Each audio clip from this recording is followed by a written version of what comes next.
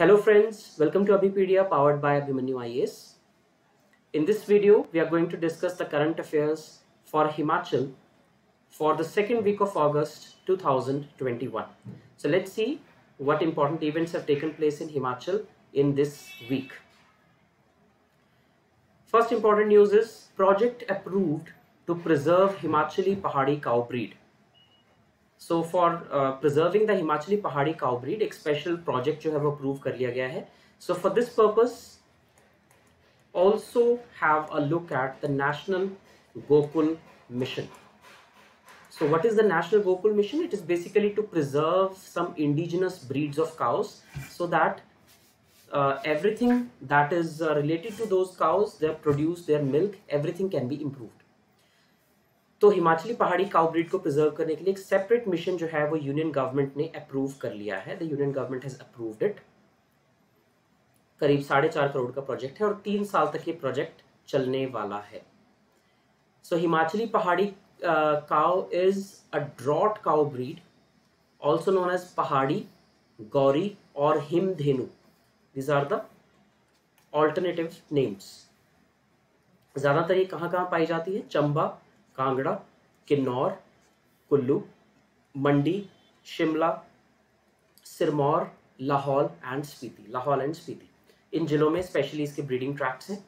Animal husbandry minister Virender Kanwar और Indian bureau of animal genetic resources sorry animal husbandry minister Virender Kanwar ने यह जानकारी दी कि Indian bureau of animal genetic resources Indian bureau of animal genetic resources Karnal जो है उन्होंने उस इंस्टीट्यूट ने डिक्लेयर किया Pahadi as an indigenous breed and union government agreed to fund the project तो यूनियन गवर्नमेंट किसी ऐसे प्रोजेक्ट को तभी फंड करती है जब किसी रिकोगनाइज एजेंसी से उसकी ऑथेंटिकेशन हो जाए। और इस केस में वो इंस्टीट्यूट है Indian bureau of animal genetic resources जिसने सर्टिफाई कर दिया that it is a genuine indigenous breed of का करीब साढ़े सात लाख गायें हैं। Which account for about 42 percent of the total cows in the state जो कि पहाड़ी ब्रीड की हैं। और इनका पूरे स्टेट के मिल्क यील्ड में 10 परसेंट से ज़्यादा का कंट्रीब्यूशन है। So the project would initially be set up at the animal breeding centre in Baghthan village of Sirmaur initially यहाँ पे सेटअप किया जाएगा। सो द आइडिया इज़ इससे इकोनॉमिकली कितना फ़ायदा होगा? एंड कंसिडरिंग कि हिमाचल में जो एनिमल हस्बेंड्री है, या फिर डेयरिंग जो है it is such a uh, I would say a secondary source of livelihood for farmers. तो उससे उसको कितना ज़्यादा फ़ायदा जो है वो मिलेगा। नेक्स्ट पुलिसिंग और गवर्नेंस के केस में ये इंपॉर्टेंट न्यूज़ है।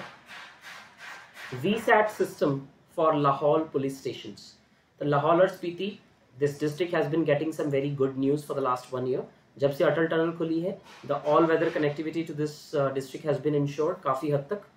और लाहौल स्पीति में अब video calling based VSAT technology police station में लॉन्च करने की तैयारी चल रही है। इसका रीज़न ये है कि जब सर्दियों का वक्त आता है तो स्नोफॉल इतनी ज़्यादा हो जाती है लाहौल स्पीति में कि सारा सारी कम्युनिकेशन लाइन जो है वो टूट जाती हैं सारे रोड कनेक्टिविटी जो है कई बार बंद हो जाती है। So so, so that people can directly share their problems with the police stations, especially during the winters. इसलिए ये वी सैट बेस्ड टेक्नोलॉजी की गई है which is satellite based video calling technology इससे सैटेलाइट फ़ोन जो है वो available कराए जाएँगे डिस्ट्रिक्ट में, और ये एक इफ़ेक्टिव कम्युनिकेशन सिस्टम होता है, चाहे वेदर कंडीशंस कैसी भी हो even in the adverse weather conditions this is a very reliable method of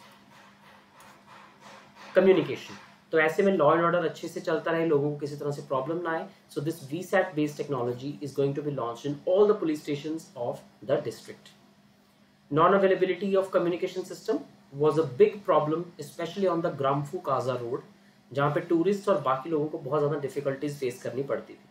अब इस सिस्टम के आने के बाद weather will no longer be a problem for resolution of these issues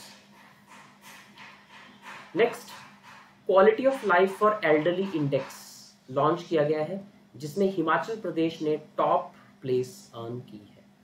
तो हिमाचल प्रदेश चंडीगढ़ राजस्थान ये कुछ स्टेट्स और यूटीज हैं जिन्होंने पहले national quality of life for elderly index में टॉप किया है। तो ये पहली बार ये इंडेक्स लॉन्च किया गया है नेशनल लेवल पे।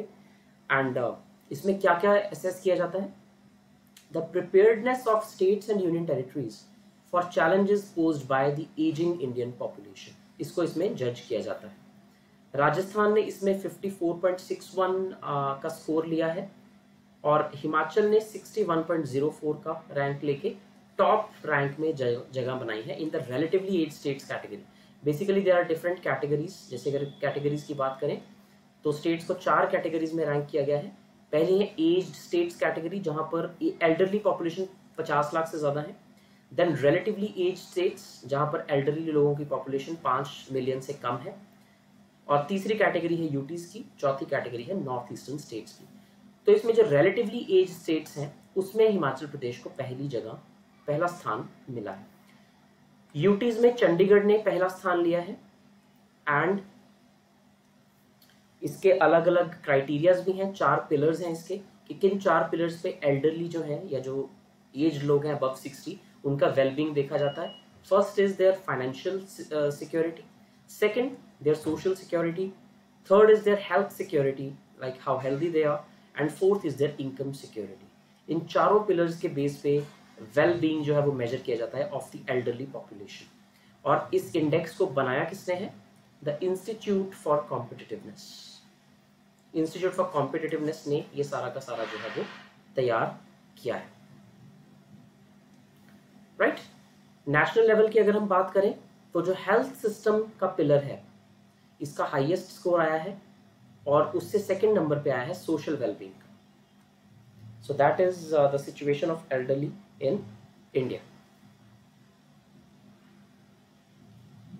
next Himachal government plans to set up Suvarna Aayog Swarna यहाँ पे स्वर्ण का मतलब गोल्ड uh, नहीं है सवर्ण it is Savarna Savarna means the upper caste people so Savarna Aayog को सेटअप करने की जो बात है वो हिमाचल गवर्नमेंट कर रही है चीफ मिनिस्टर जयराम ठाकुर ने ये जानकारी दी कि मध्य प्रदेश गवर्नमेंट के तर्ज पर एक सवर्ण आयोग जो है वो हिमाचल प्रदेश में भी सेटअप किया जा सकता है राइट इसका मेन पर्पज है to safeguard the interest of upper caste basically ये काफ़ी जगह पर ये कंप्लेंट सुनने में आ रही है कि जो शेड्यूल्ड कास्ट और शेड्यूल्ड ट्राइब्स हैं, उनके लिए इतने सारी स्कीम्स इतने सारी बॉडीज और इतने सारे चैनल्स बनाए हैं गवर्नमेंट ने that they can redress their grievances anywhere लेकिन जो अपर कास्ट लोग हैं, उनकी जेन्युइन ग्रीवेंस होने के बावजूद भी उनके पास उसको एयर करने के लिए कोई डेडिकेटेड बॉडी नहीं है। और कई केसेस में तो रिवर्स डिस्क्रिमिनेशन तक देखने में आई है। Which has been particularly documented by various courts as well कि कहीं पर upper caste have been subject to discrimination by the lower caste people it has become quite common now reverse discrimination तो ऐसे केसेस की complaints करने के लिए अभी तक कोई बॉडी नहीं थी। सो दे आर डिमांडिंग अ सवर्ण आयोग और upper caste commission so that these cases can also be taken up dedicatedly. Right? तो इसका प्रपोजल है स्टेट में Next, 250 Safai Mitras to keep Shimla and nearby areas clean. So although it is not a part of Swachh Bharat mission, but it is a part of Swachh Himachal, Swasth Himachal. That means clean Himachal, healthy Himachal.